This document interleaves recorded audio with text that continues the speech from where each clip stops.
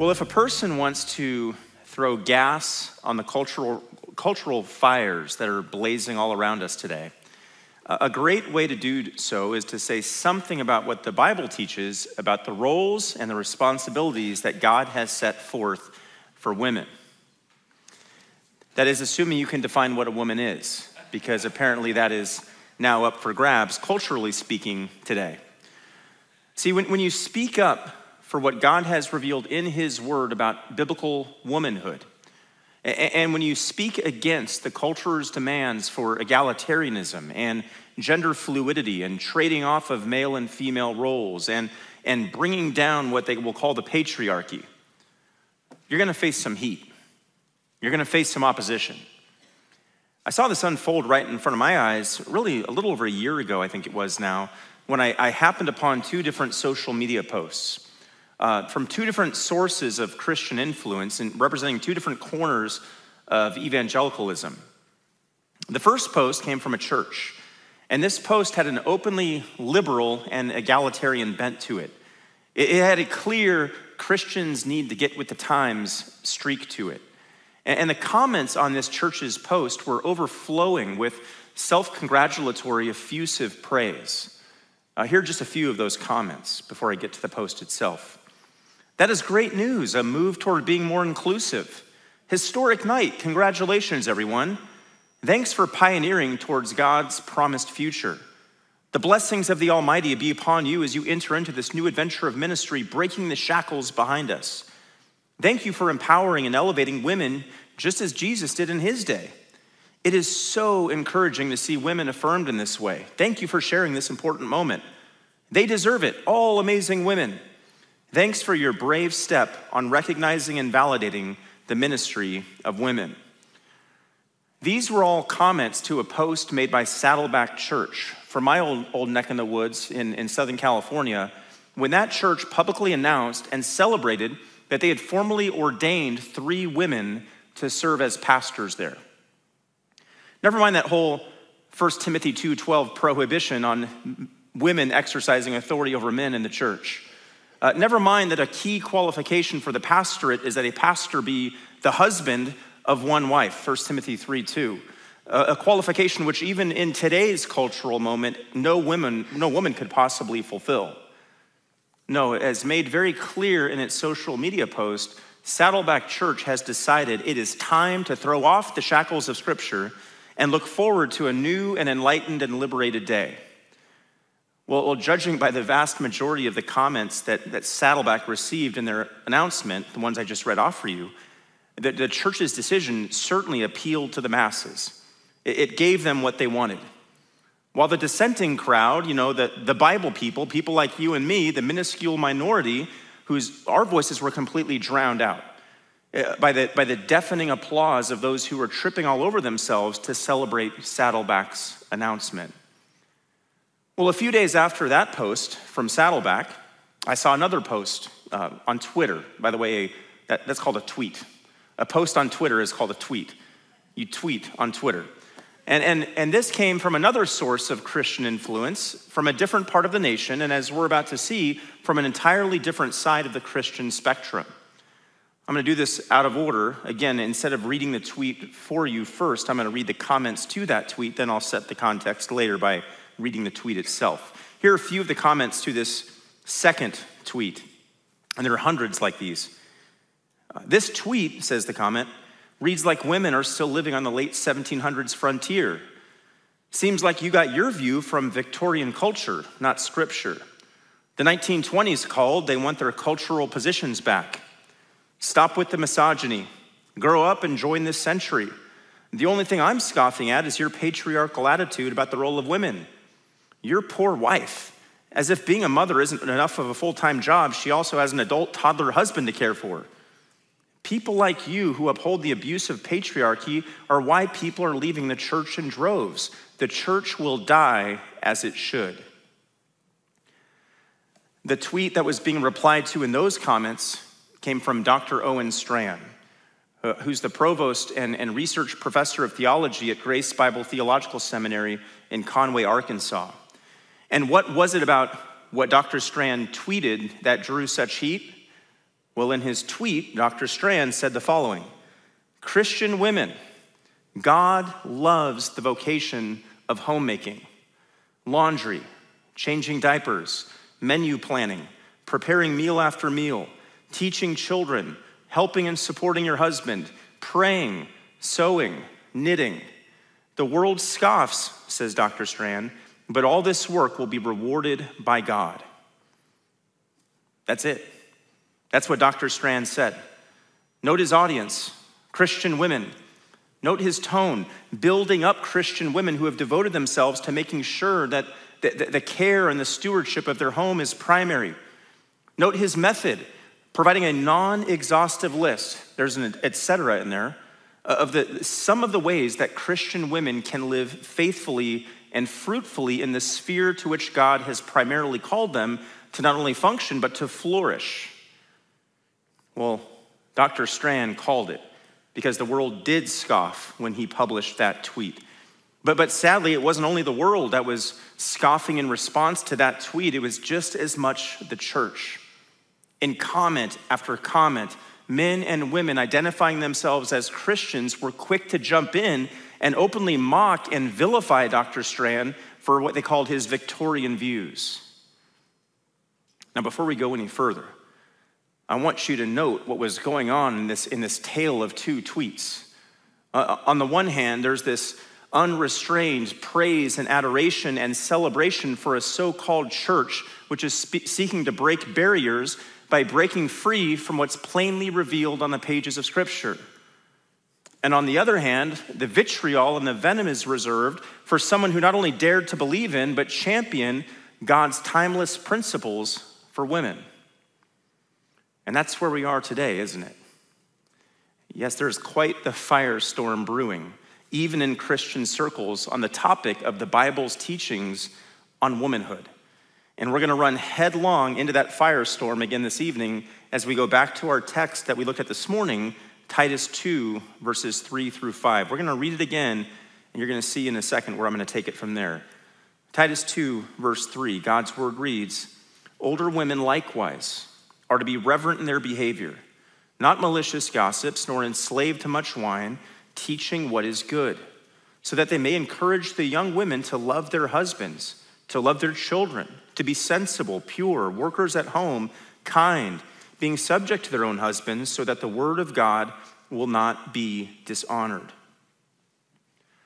You know, I suspect, based on the experiences of men like Owen Strachan, that if it were somehow possible for the Apostle Paul today to, to remove his gaze from the glorified Christ that, in, in, whose presence he is today, giving it, and now, now giving him just enough time to set up a Twitter account, and if the Apostle Paul were to tweet out these words from Titus 2 3 through 5, he would be vilified, just like Dr. Strachan. Why? Why is it that a passage like this is so reviled and so hated in the world? And why is it that men and women alike in the church will, will look the other way or shift in their seat or chew on their pen cap or scratch their temple or refuse to make eye contact with the person delivering this text when encountering this passage? Why? Well, to figure out the answer to that question, we need to go back to the beginning. So, as we conclude our day together today on Mother's Day, the Lord's Day, we're going to end with the beginning. This morning, we were beginning with the end as we looked at the purpose statement of verse 5 so that the word of God will not be dishonored. This evening, we're going to end with the beginning. In fact, that's the title for the message this evening Ending with the Beginning. And in this evening's message, we're going to tie together and connect several loose ends related to the text that we first looked at this morning. But as we're about to see, it all starts in the beginning, as in, in the very beginning, back in the earliest pages of the book of Genesis. If you're taking notes uh, tonight, our first point for your, your outline, our preaching point is the past. The past. Turn with me, if you would, in your Bibles back to Genesis 3. We're going to go to Genesis 3 as we look at the past. We go back to the beginning. Genesis 3, and we'll pick it up in verse 1. Familiar passage, I'm sure, for many. We get to January 3rd in our Bible reading plan each year, and we're already at this part of world history and redemptive history. Genesis 3 1 says, Now the serpent was more crafty than any beast of the field which the Lord God had made. And he said to the woman, Indeed, has God said, You shall not eat from any tree of the garden? The woman said to the serpent, From the fruit of the trees of the garden we may eat, but from the fruit of the tree which is in the middle of the garden, God has said, You shall not eat from it or touch it, or you will die. The serpent said to the woman, You surely will not die. For God knows that in the day you eat, it, eat from it, your eyes will be opened, and you will be like God, knowing good and evil. When the woman saw that the tree was good for food, and that it was a delight to the eyes, and that the tree was desirable to make one wise, she took from its fruit and ate. And she gave also to her husband with her, and he ate. Then the eyes of both of them were opened, and they knew that they were naked, and they sewed fig leaves together and made themselves loin coverings. They heard the sound of the Lord God walking in the garden in the cool of the day. And the man and his wife hid themselves from the presence of the Lord God among the trees of the garden. Then the Lord God called to the man and said to him, Where are you? He said, I heard the sound of you in the garden, and I was afraid because I was naked, so I hid myself. And he, meaning Yahweh here, said, Who told you that you were naked? Have you eaten from the tree of which I commanded you not to eat? The man said, The woman whom you gave to me be with me, she gave me from the tree, and I ate. Then the Lord God said to the woman, What is this you have done? And the woman said, This serpent deceived me, and I ate. So, what we see in this passage is that both Adam and Eve sinned against God. They, they rejected the goodness and the kindness and the favor which God had shown them. They, they turned away from their all wise and their all benevolent creator. They heeded the deception of the serpent. To borrow from Proverbs 3, they leaned on their own understanding.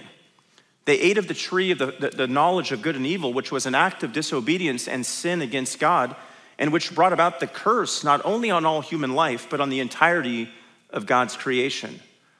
God began by pronouncing the curse on the serpent. We saw there in, we will see in Genesis 3:14. Then he announced what's been called the proto-evangelion, the, the first gospel, some will call it, in Genesis 3:15. And then look at what comes next in Genesis 3:16. It says, To the woman, he said, I will greatly multiply your pain in childbirth. In pain, you will bring forth children, yet your desire will be for your husband, and he will rule over you. And there it is. This is the, two, the, the twofold curse, not only on Eve herself, but on all who would fall in her line. In the first part of God's judgment on the woman, he declared that, that bearing children would now be painful and traumatic. Uh, the, the woman's primary life giving, procreative function would be full of toil. The New Testament counterpart, by the way, to this first part of the curse on women or on woman would be in 1 Timothy 2 13 through 15.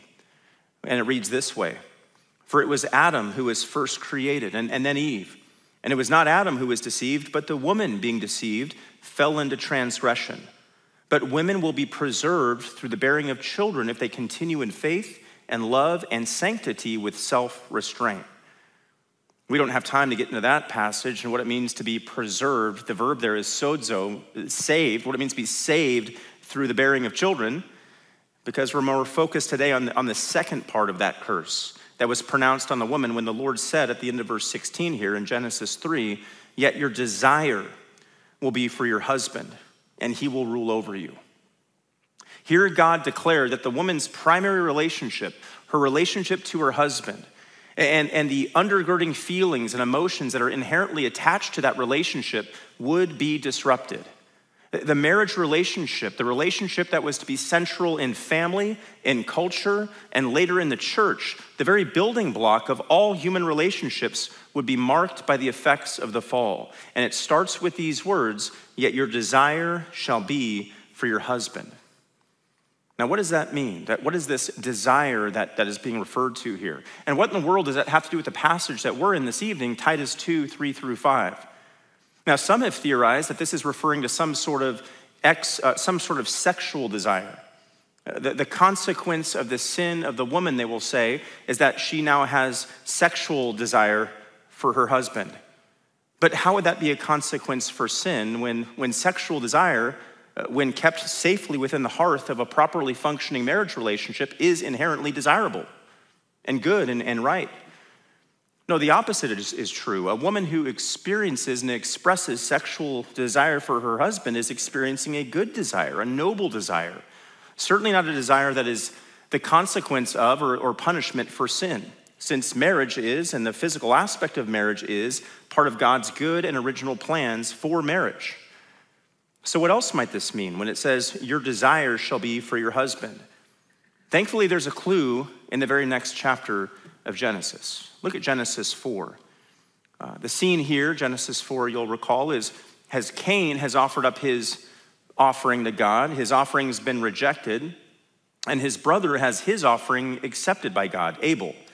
Cain is furious. It shows on his face. His countenance falls, and jealousy and murder now rise up in his heart.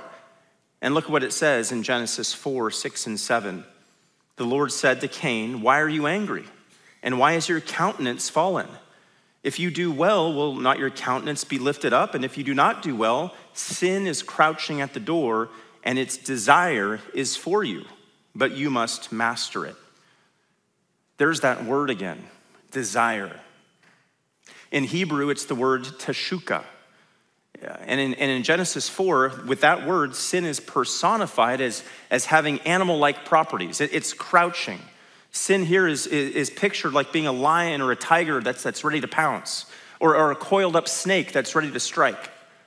The aim of the predator is to kill, and the aim of the sin mentioned here in Genesis 4 is to destroy.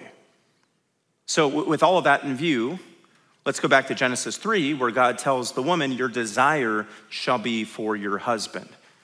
Far from referring to a, a good and a God honoring sexual desire for her husband, this is referring to a wrong and sinful desire on the part of the woman. Specifically, it's referring to her desire to dominate her husband in the same way that sin seeks to dominate each and every one of us. God originally created the family structure as being comprised of a husband who would lovingly lead and shepherd and care for and tend to his wife, while the wife would follow his leadership.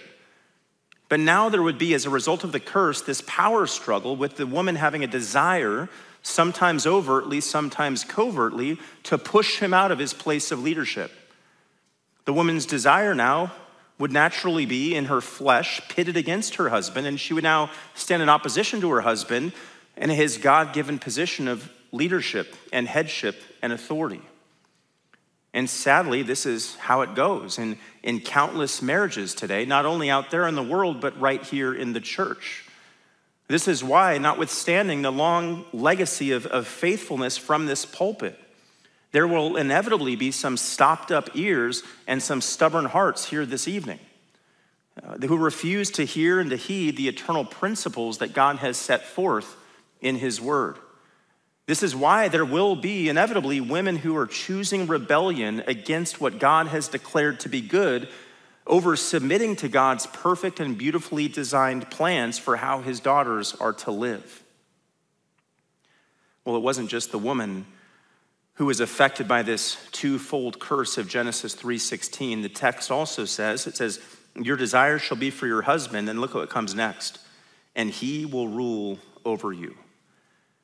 The loving leadership that husbands were called to, the text here says, would be replaced by some desire to rule over, to, to master, to exercise some form of heavy handed lordship over his wife. This is not the kind of leadership in which a husband is prioritizing his wife's concerns. This is not the type of leadership in which a husband is seeking his wife's good over his own. Rather, this is the type of leadership which dominates, which stifles, which steamrolls, and, and which showcases that the husband cares first and foremost about himself.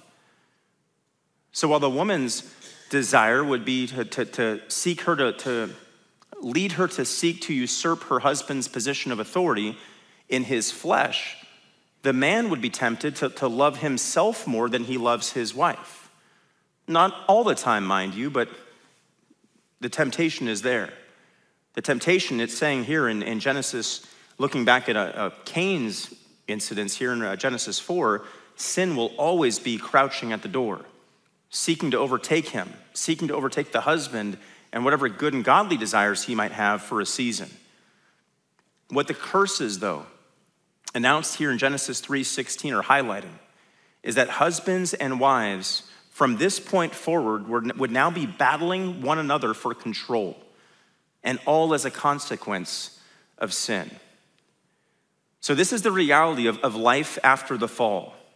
And bringing it back to our topic of study today, this is in their natural condition today, post fall, the state of all women on this planet. Uh, in, in that a life which was originally designed to be, be perfect in every way will now be marred by pain pain in childbirth, pain in child rearing, and pain in the home. As women who were designed to be helpers to their husband would instead be tempted to become his nemesis. So, going back to the introduction to this message, it's the curse on the woman. The curse of Genesis 3:16 which explains so much. The curse explains why there is resistance to faithful men like Owen Strachan and praise for weak men like Rick Warren. The, the curse explains why the messages I've been, I've been delivering today would be vilified if they were preached in the public square. The curse explains why many of you here this evening can nod in agreement at the things we're hearing this evening and this morning from Titus 2, 3 and 3 through 5, but why it's so much more difficult to live out these truths when you get back home tonight. So we've looked at the past. That was our first heading, meaning the biblical origins, tracing it all the way back to the earliest pages of the book of Genesis to see how our world got to be in the state it is today, and how we as humans got to the place we are today and how it is in a, in a post fall world that things have not become easier, but rather more difficult for women who are cursed not only through the pain of childbearing, but who are cursed in having this innate desire to rule over their husbands. So that's the past. Now, as we move into our second point, I'd like to narrow the funnel a bit as we focus in on, on how, in our post fall world, living according to these biblical principles here in Titus 2, as a woman, has become even more difficult in light of the rise of feminism. So we've looked at the past. Point two is we're going to now look at the path. The path, as in the path which has, in more recent years, led us to where we are today, specifically with the rise of feminism. History lesson now for the next 10, 15 minutes, okay? And then we'll get back to the text. Another one of those like 35 minute introductions. On July 19th, 1948, uh, 200 women gathered for a convention at a Wesleyan church in upstate New York in the city of Seneca Falls. And leading the charge at this convention was a woman named Elizabeth Cady Stanton. And Stanton's primary aim in calling this convention was to secure for American women an equal right to vote. And at this con- conference, this convention, Stanton and the other delegates issued a document which was called the Seneca Falls Declaration. It was modeled after the Declaration of Independence, the American Declaration of Independence, and it began with these words We hold these truths to be self evident that all men and women are created equal. So, in the original American Declaration of Independence, only the word men appeared there. All men are created equal. The Seneca Falls Declaration mentioned men and women. And though this document referred to men and women being created, I mean, that's a good thing, right? That's the, the right initial presumption. Make no mistake, there was already at this convention an anti God, anti Bible agenda that was afoot through many of the leaders of this movement. In fact, here is Elizabeth Cady Stanton in her own words in a different context. She said, The Bible, with its fables, allegories, and endless contradictions, has been the great block in the way of civilization. So that was the person who kicked off the Seneca Falls Convention. And then Stanton, along with women like Lucretia Mott and Susan B. Anthony, are credited for ushering in what became known as the first wave of feminism or, first wave feminism. Now, another feminist icon who emerged during this first wave of, feminism was a woman named Margaret Sanger. Sanger was a nurse, a sex educator, and the person who is credited with coining the phrase birth control. In 1914, Sanger founded a monthly newsletter called The Woman Rebel, which, as I'm sure you can imagine, did not hold to biblical presuppositions or a Christian worldview. Um, in 1921, Sanger established the American Birth Control League, which would later become known as Planned Parenthood, an organization whose blood-stained legacy has been the, the role it's played in slaughtering millions of lives. Well, women's suffrage, the right to vote, was indeed finally obtained in 1920, and that date, 1920, serves as the, the bookend, the end date of what is known now as first wave feminism. Well, after decades of war in the 30s and the 40s and even into the 50s, a second wave of feminism swelled up in the 1960s. And this was a wave that actually rode all the way to the early 1990s. Now, while the, while the first wave of feminism was focused more on, on the civic rights and the privileges of women, such as the right to vote, the second wave of feminism was much more social in nature. Uh, pro- proponents of second wave feminism were more interested in analyzing society and, and its structures through a critical lens. They viewed society as unjustly patriarchal, with men unfairly exerting power over women and women being subservient to men and being treated as second class citizens. The goal of the second wave feminists then was to set women free from their socially engineered chains of, of male dominance. And in the second wave of feminism, you had women like uh, Simone de Beauvoir, who was an existentialist, existentialist female philosopher who in 1949 wrote a book titled The Second Sex. And in that book, she called for a feminist revolution in which women, women took responsibilities for themselves and, and chose freedom from male dominance. Then there was Betty Friedan, who was instrumental in launching what became known as the Women's Liberation Movement with the publication of her 1964 book, The Feminine Mystique. Uh, in that book, she referred to the concept of a woman whose interests were focused on her home and her husband and her children as suffering from a disease with no name and suffering from the malaise of the suburban housewife. Then came Germaine Greer, who in 1970 wrote The Female Eunuch. And her thesis, as its crass title indicates, was that our male dominated society had tamped down the innate female sexual drive and desire. In Greer's words, uh, women have somehow become separated from their sexuality, like beasts who are castrated in farming in order to serve their masters or ulterior motives, to be fattened or made docile. Women have been cut off from their capacity for action. Then came Gloria Steinem, the former Playboy bunny who was an ardent abortion advocate, the founder of Ms. magazine, which for years unapologetically promoted a feminist message related to the social liberation of women.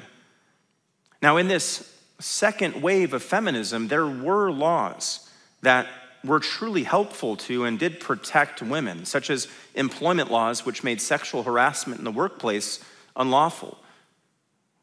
But you also had in this same phase the issuance of the Supreme Court's decision in Roe v. Wade in 1973, a judicial precedent whose lasting legacy will have been the slaughter of well over 60 million innocent lives in this nation alone, many of them female lives.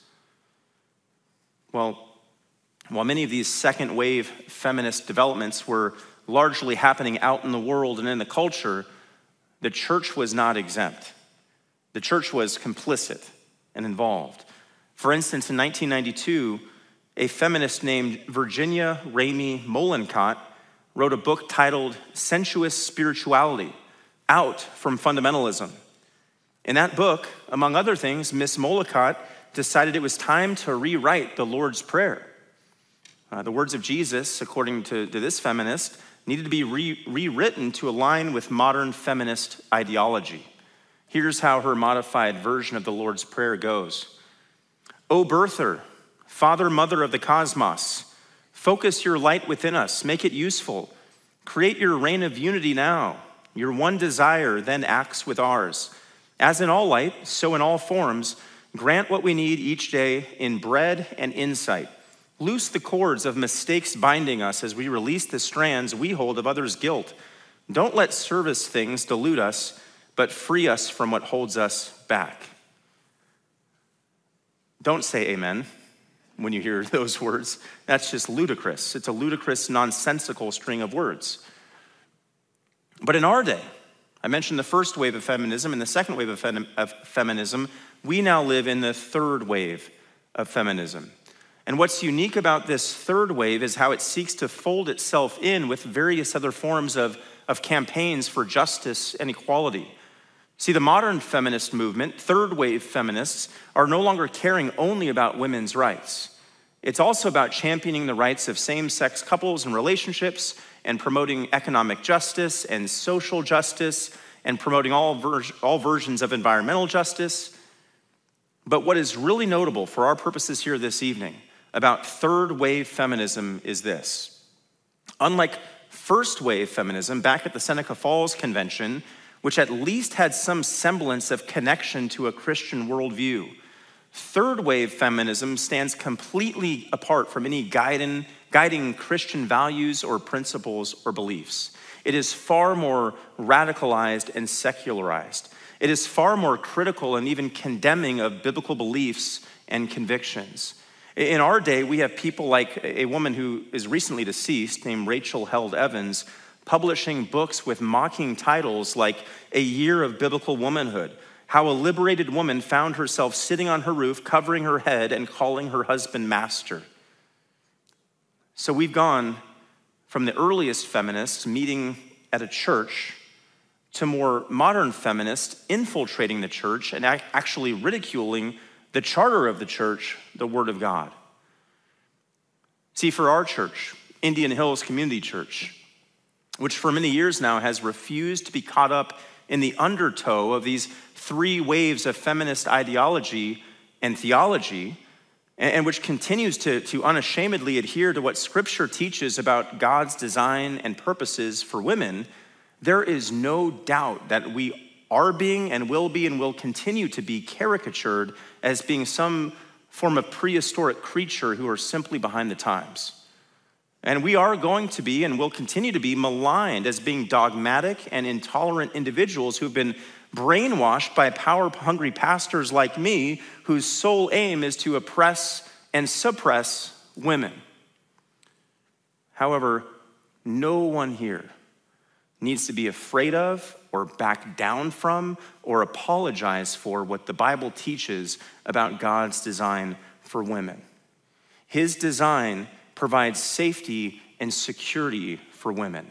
His design provides blessing and favor for women. His design is perfect and unchanging for women, and his design for women will always be upheld and proclaimed here as what is best. So, with all of that history, supplying now a new, a new angle from which to launch back into our text tonight, let's go ahead and head back to our text, Titus 2 3 through 5. It says, Older women likewise are to be reverent in their behavior, not malicious gossips, nor enslaved to much wine, teaching what is good, so that they may encourage the young women to love their husbands, to love their children, to be sensible, pure, workers at home, kind, being subject to their own husbands so that the word of God will not be dishonored. As we get back to our text for this evening, so we've seen the past, we've seen the path, now we're going to get back into the principles.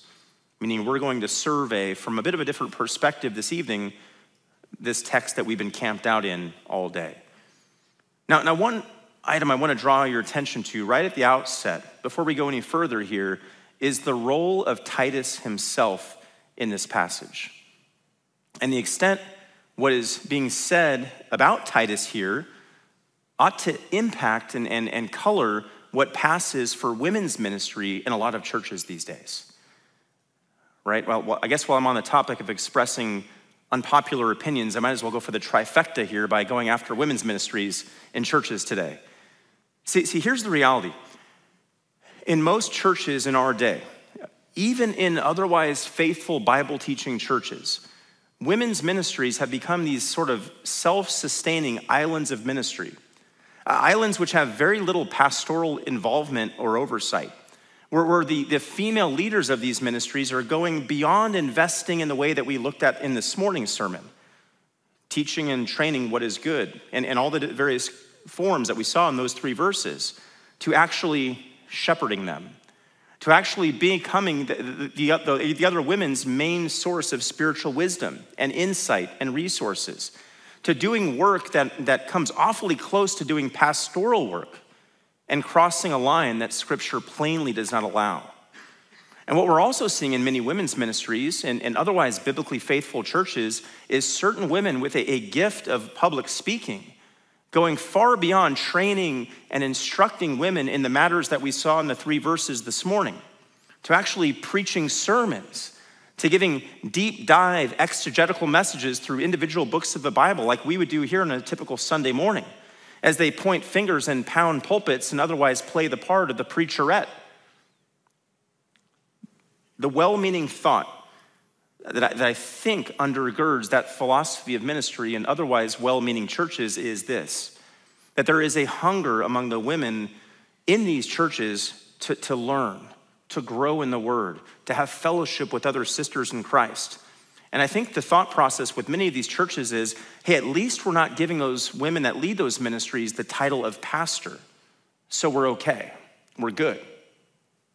The thought is as long as we don't call the women in our church who officially lead other women pastors, we're in the clear. And now the women's ministry can otherwise remain relatively uh, independent and unsupervised and unchecked. But is that what's being portrayed here in Titus 2? Think about it. Who are the players here in Titus 2? Of course, we have God, the Holy Spirit, directing all that's being said, but the first person is Paul, an apostle. There aren't any more of those today. If you disagree with me, let's talk about it in the South Lobby after the service. Giving instructions to Titus, a pastor, a pastor who's been called to go minister there in Crete, like we saw this morning. And now Paul is telling Titus to give instruction to the older women, who in turn are to give instruction to the younger women, so that they in turn will be faithful in their calling to live the way that God has called them to live we cannot miss, and I think we often do miss, that pastoral link here and that pastoral backdrop to this text. Titus, the book of Titus, just like 1 Timothy and 2 Timothy, is a pastoral epistle. And in the pastoral epistles, the immediate audience, the first person, the first recipient of that audience, of that letter, the immediate target of that letter is a pastor. In those three letters, Titus, 1 Timothy, 2 Timothy, pastors are being given instructions as to how they are to fulfill their tasks and their roles vis a vis various groups and people there within the church, including men and women. But an unstated reality standing behind our passage for today, and one that doesn't get talked about very often, and probably because nobody wants to talk about the sacred cow of the women's ministry and they don't want to upset half the church, is that there needs to be pastoral involvement, pastoral oversight and in some cases, even pastoral teaching of the women of the church as an aspect of equipping them so that they can now teach and train one another. It's wonderful to have women's ministries where, where sisters in Christ are encouraging one another and blessing one another and serving one another and putting their spiritual gifts to work for the benefit of one another. And yes, even teaching and training one another. But what is never modeled in Scripture is women taking on some sort of quasi pastoral role with respect to half of the church, preaching sermons to them and shepherding them as though they were a pastor. Now, does this mean that the only spiritual touch point that a woman should have in her church is a pastor, one of the men that's charged to oversee the church? Does this mean that women have no role in helping other women grow in their relationship with the Lord? Does this mean that women are never to teach other women? Absolutely not. Quite the contrary. As we explored at length this morning, our very passage here, Titus 2 3 through 5, shows us that older women in particular are called by God to play an instrumental role in the training and instruction of the younger women. But what is out of bounds is women effectively functioning as pastors in the lives of other women. Okay, now that I've taken us on that little detour and gotten worked up, and now that we have this historical picture in view with the biblical record of Genesis 3 and the historical record with the advent of all three waves of feminism, let's circle back to the principles that we looked at in this morning's message. We'll do this in a bit of a more rapid fire format this time around since we've already covered most of this this morning. And uh, my aim here in the last few minutes we have together is to give us all an unmistakably clear picture of what the portrait of a godly woman looks like. So, as we saw earlier, what we see in this passage is older women in the church teaching and training the younger women in the church about what it means to watch their hearts and to love their homes. That's the overall framework of what's happening in these three verses. But there's great richness and texture in these words, so I think it would be worthwhile to look through them and survey them once again. So he starts verse 3 with older women likewise. And as we've seen, that line between older and, and, younger in the scriptures is based on the age of the woman's children and her capacity to have more children. If the woman is in that phase of life where she's either raising children in the home or is still capable of bearing children, she would be considered a younger woman. Uh, if the woman is beyond those years, she would be an older woman. And such older women are called to have, as we see here, certain character traits and credibility in order to teach and train the younger women. First, an older woman is to be reverent. That means the older woman is to be priestess like, a temple proper. Uh, putting it more simply, she's to be a godly example of holiness, constantly aware that she's in God's presence. A second, she must not be a malicious gossip. The word there we saw is diabolos, which means slanderer or false accuser. The very word diabolos, that, that word is used in Scripture over and over 33 other times to refer to Satan. And it is the word from which we get our English word devil. The godly older woman recognizes that, that gossips and slanders are among the vices listed in Romans 1 of those who are, are given over to a depraved mind. But because her mind, she's a follower of Christ after all, has been renewed, Romans 12, 1 and 2, uh, because her mind has been taken captive by the word of God, she doesn't vent or spout off. She's not given to complaining or bitterness or jealousy. She's not all about spreading lies or, or rumors or vitriol within the body of Christ. Rather, she is self-controlled in her speech. Ephesians 4:29. Let no unwholesome word proceed from your mouth, but only such a word as is good for edification according to the need of the moment, so that, that it will give grace to those who hear. Third, we saw that she's not enslaved to much wine. She is self-controlled in all her actions. She is surrendered to the word of God in every aspect of her life. No particular substance can control her or does control her. Uh, she does not, as Ephesians 5:18 says, get drunk with wine, for that is dissipation, but she is filled with the Spirit. She is a spirit of temperance, which time and wisdom and godliness have forged into her. Last, the older woman is committed to teaching what is good. Through a life dedicated to the study of Scripture, the, the older woman knows the importance of teaching younger women that which is good and noble and lofty and excellent. And specifically, as we're going to see, she focuses her teaching to these younger women on watching their heart and loving their homes. And each of the traits of the godly younger woman that we're now going to see in verses four and five fall into one of those two categories the heart and the home. We'll start with the heart.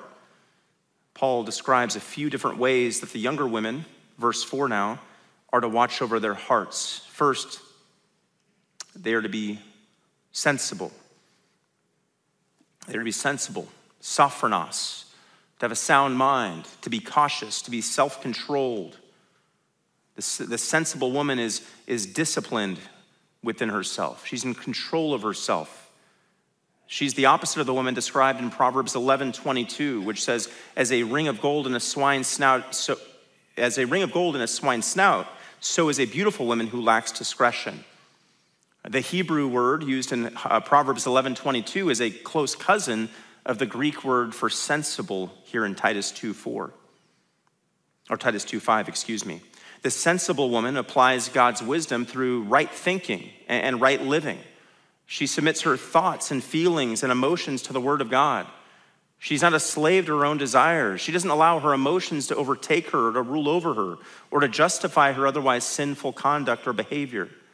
She doesn't do it all perfectly, but a pattern of her life is that she manifests the fruit of the spirit, Galatians 5:23, of self-control. A second, younger women are to be pure. The word for pure, hagnos, carries with it the idea of morality and goodness and obedience. And in, and in this context, sexual purity and chastity. And in the context of the married woman, marital fidelity. Of course, we live in a place and an age in which sexual sin is idealized and idolized and even worshiped. The sermons that the, the country, the world, the culture are preaching to our women, our women here this evening is that they should seek empowerment and, and pursue self. But God's word preaches a contrary message that his daughters should be seeking the Lord and pursuing holiness. 1 Peter 1:16 to be holy as he is holy. Or 1 Thessalonians 4 3 to abstain from sexual immorality. Third, the women are to be kind. Uh, the meaning of this one is, is pretty obvious. The godly younger woman is nice to people. She's gracious toward others. She is considerate. She is congenial. She is sympathetic, even to, and sometimes particularly to, those who don't deserve it. She recognizes that kindness is a fruit of the Spirit, Galatians 5:22, and she grasps that her own kindness reflects the immense kindness that she has been shown by God through Christ. That's what Ephesians 4:32 says. We saw that this morning. Be kind to one another, tender-hearted, forgiving each other just as God in Christ has forgiven you. All those terms, sensible, pure, kind, are wrapped into the ways in which older women are to train the younger women, women as to how they are to watch their heart. There's another component, though, to this type of woman to woman training that should be happening around the church. As we've also seen, older women are to be training the younger women as what it means to love their home. Love their home. So, in the remaining set of characteristics that the godly young woman is to pursue, Paul stresses the importance and the centrality of the home. This valuable, important, even, even sacred place where the godly younger woman will spend most of her time. Now, as we're going to see, Paul's charge to the younger woman through the older woman is not that she only be in the home, but that she love her home. Now, now, for some of you, simply as a result of having been born in an era that's already awash in, in three waves of feminist thought, you might immediately be taken aback by what I just said. You're thinking about that, that industrious little girl who just wants to be a doctor one day. Or you're thinking of the, of the drudgery of making lunches and ironing shirts and, and being a taxi service that takes your kids all around town. You're thinking of expensive college degrees that will one day gather dust. I get it. In the world's way of thinking, the idea of the, the woman's primary role being in the home and her joy being found in her God given role in the home is at best unsatisfying and at worst a form of male imposed slavery. This would be the time for me to say, though, that if you have a misunderstanding of, of, of, the woman's role in and value to and love for her home, your quibble is not with me ultimately. Your quibble is about what is revealed and declared timelessly in the Word of God. All that being said, Paul tells Titus here to tell the older women in the church how they are to train the younger women in the church to love their homes. And he gives them a few ways to do so. First, jumping back up to verse 4, they are to love their husbands. We saw this morning that that word is philandros. It's a, it's a compound, composite word that Paul actually made up in this verse, where he mashes together the Greek word for husband and the Greek word for love, one of the Greek words for love, and she is, it says here, to be a husband lover. It's phileo type of love, brotherly love, affectionate love. We can even say she's not only to love her husband, but to like her husband. It's, it's that type of love. Husbands, we know from Ephesians 5:25, are to love their wives as Christ loved the church, but wives are called, as it says here, to actually like their husbands. We also saw in verse 4 that younger women are to love their children. Titus 2:4. Of course, many career minded women today have been programmed by the culture to think the opposite of what this verse teaches. As today, the time in which to, to get married and have children is routinely being pushed back into the middle 30s or later. So that, that women who otherwise could start a family at a younger age or an earlier age are now instead chasing the wind by per, pursuing various experiences, careers, and education, and travel and romance. deferring the experience of loving their husbands and deferring the experience of loving their children so that they can love themselves for as long as possible. This modern attitude in no way measures up with the godly woman's view on the home and the children that the Lord blesses her with in that home. Instead, she sees children the way God sees them as a gift, Psalm 127 3, as a heritage from the Lord. And when the Lord, in his timing, provides her with children, the fruit of the womb, as that same psalm says, she affectionately and lovingly cares for her, her children, not viewing them as burdens or obstacles to, to what she would rather be doing or where she'd rather be, but instead viewing them as a divine and blessed stewardship.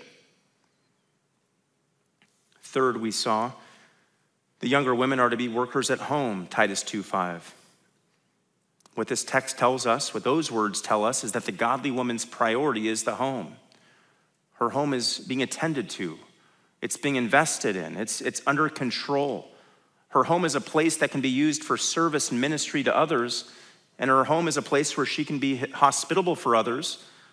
But for her family, the, the husband and the children that she's called to love, her home is a haven a place of rest, not a place of chaos and disorder. The godly woman prioritizes her home. She isn't trying to escape her home. Rather, she loves her home and she thrives in her home. Fourth, on the loving her home side of things, younger women are to be subject, it says, verse 5, to their own husbands. The word for subject to there is hupotasso, can be translated also submissive. The, the godly young woman is to be submissive to or subject to her own husband. A few things worth noting there. Submission does not mean her wife is inferior, the wife is inferior to her husband. Far from it. Like her husband, she's been created in the image of God. Genesis 1:27, God created man in his own image uh, in the image of God, he created them, male and female, he created them. Uh, like her husband, assuming they're both Christians, she is in Christ Jesus, Galatians 3:28. And like her husband, she is a 1 Peter 3:7 fellow heir of the grace of life. So submission also does not mean she's a doormat. Doesn't mean that her husband gets to squelch her personality or refuse to listen to her opinions or, or fail to consider her feelings.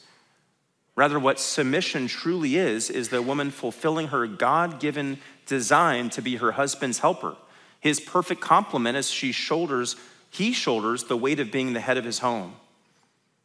Of course, the flesh revolts against this principle of submission. And principles like these of submission, why, which is why, in the context here in verses three through five, younger women need examples of godly older women who have experienced a lifetime of figuring out what it means to be living in subjection to or submitted to their husbands. Well, that's a lot to take in for one day and one text and three verses. We've covered the history. Uh, we've covered various aspects of history. We've seen some of the cultural sides of things. We've, we've worked through the text again just by way of review this evening. We've covered the past, the path, and now the principles.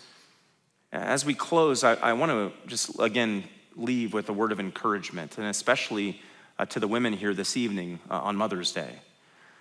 I want to remind you that if you have trusted in Jesus Christ for salvation, let's just let's, let's zoom out and consider the, the overarching principle here. If you have trusted in Jesus Christ for salvation, you have been redeemed and washed and renewed. You've been saved by, by the curse reversing, head crushing God man, the Lord Jesus Christ. And you can, you can claim what it says in, in Titus 2 11 through 14. For the grace of God has appeared, bringing salvation to all men, instructing us to deny ungodliness and worldly desires and to live sensibly, righteously, and godly in the present age looking for the blessed hope and the appearing of the glory of our great God and Savior, Christ Jesus, who gave himself for us to redeem us from every lawless deed and to purify for himself a people for his own possession, zealous for good deeds. And while you might still live in this sin cursed body, in this sin cursed world, and live in these sin cursed relationships, make no mistake, in light of who you are in Christ, you do have the power and the ability to live the way God has called you to live as revealed in His Word. And not only do you have the ability to, but you, you absolutely need to commit yourself to living the way God has called you to live. I can assure you, and this is not a promise based on any authority I have, this, this promise is made on the authority of the Word of God that we've worked through today that the greatest source of blessing you will ever experience in this life, ladies, will not to be to hold some important position or title, or, or to climb the corporate ladder, or to make widgets or work a desk job or to serve on the school board. No, the greatest source of blessing you will ever experience in this life will be to live in accordance with God's grand design and purpose for you as women to manifest the fruit of the Spirit, to live upright and godly lives in Christ Jesus, to see your home as your haven, to set your family as your focus, and as we've heard many times, both this morning and this evening, to watch your heart and to love your home. Let's pray. God, thank you again for a chance to spend time with these dear people, the body of believers here at Indian Hills Community Church. Thank you for your word and the truth it contains, the timeless truths of a passage that we have spent all day working through Titus 2 3 through 5. Thank you that your word is truth, that it contains all that we need pertaining to life and to godliness. Thank you that your word is fixed forever in the heavens, that it is sure, that it doesn't yield or bend in light of what's happening around us in the culture that the media can't change it, that Hollywood can't change it, that liberalism can't change it, that secular philosophy can't change it. It is fixed, it is clear, it is sure, it is timeless, and it is good. So, God, I do pray for the women here, especially on Mother's Day, who are going through this text, a text I'm sure they've gone through before for most. I pray that they'd be encouraged in those areas of their Christian walk where they are walking worthy and and growing in sanctification and, and overcoming sin and temptation and, and striving for holiness and joy and satisfaction. But I pray there also would be conviction in those areas brought about by your Spirit where there, there is a falling short, where there's a discontentment, where there's a tendency to drift in the direction of the world and to, to, to listen to the siren and the, the siren song of the culture. I pray that you would grab a hold of those hearts and convict those hearts and continue to strengthen those hearts as those women go to the word and, and live accordingly as godly, faithful women.